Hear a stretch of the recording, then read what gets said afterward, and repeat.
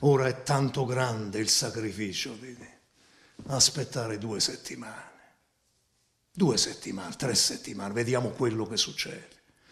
Allora, intanto è consentita l'attività motoria individuale, fatevi la passeggiata anche veloce, ma con le mascherine. Poi, fra qualche giorno, credo che sarà opportuno individuare delle aree dedicate alcuni parchi urbani, alcune isole pedonali, dove consentire anche, come dire, la corsa senza mascherina.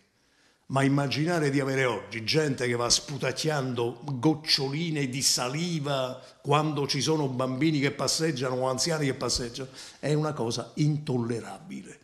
Quindi da oggi in poi tutti con le mascherine. Chi non indossa la mascherina è una bestia per due motivi perché non ha rispetto per gli anziani e per le famiglie e perché non ha rispetto neanche per un lavoro immane che abbiamo fatto come regione per mettere in condizione tutti di avere la mascherina. Non ci sono ali.